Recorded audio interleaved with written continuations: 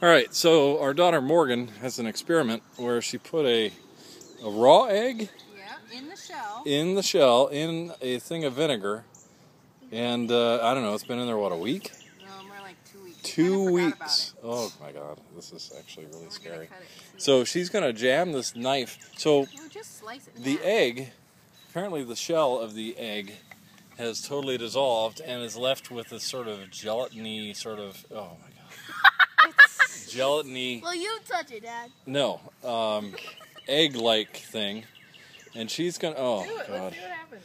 she's gonna po- i'm not even gonna watch It's not gonna explode. she's gonna oh but it's gonna stink oh And she's gonna cut it Come open on, Morgan, do it.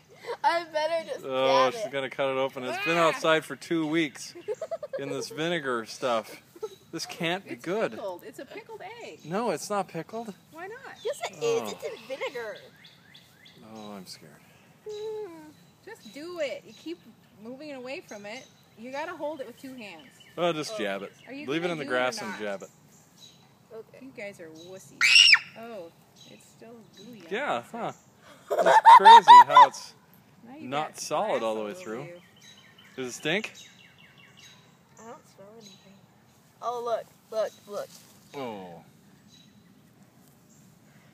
Oh, that's look. pretty. That's pretty wrong. Ooh, look. Ew, look, ew.